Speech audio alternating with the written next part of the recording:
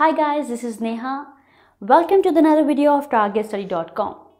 Today I will be talking about one of the most sought after medical course that is Diploma in Pharmacy. Diploma in Pharmacy is 3 years undergraduate medical course.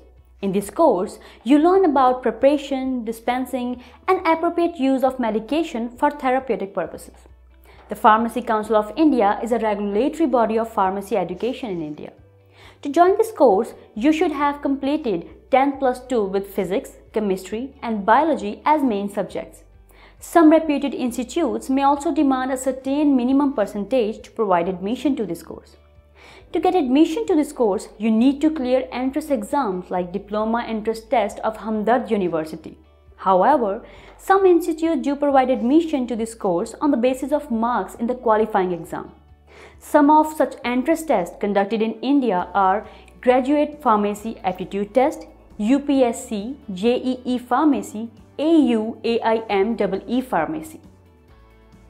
Some of the reputed institutes that you think of getting admission into are Jamia Hamdard University, New Delhi, Bundelkhand University, Jhansi, MET Institute of Pharmacy, Mumbai, and Delhi Institute of Pharmaceutical Sciences and Research in New Delhi. In this course, you will study about various aspects of pharmacy, such as pharmaceutics, pharmaceutical chemistry, biochemistry and clinical pathology, human anatomy, health education and community pharmacy, etc. Pharmacy syllabus is designed in such a way that it includes both practical and theory subjects. The course prepares students to assist in narcotics control, third party billing, drug distribution, pre packing pharmaceuticals, computer processing, and clerical and other duties as necessary. Candidates with diploma in pharmacy have brighter career prospects due to its demand, not only in India, but also in developed countries like Canada, America.